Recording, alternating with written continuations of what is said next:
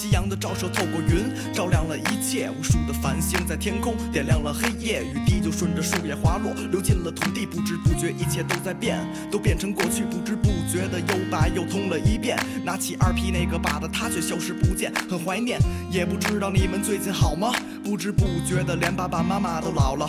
他们在我眼里一直都是勇敢的人，我真的无能为力，打不开这重返的门。我想要接住上帝扔的沙包，让时间停住，让回忆凝固，而不是盯着手机屏幕。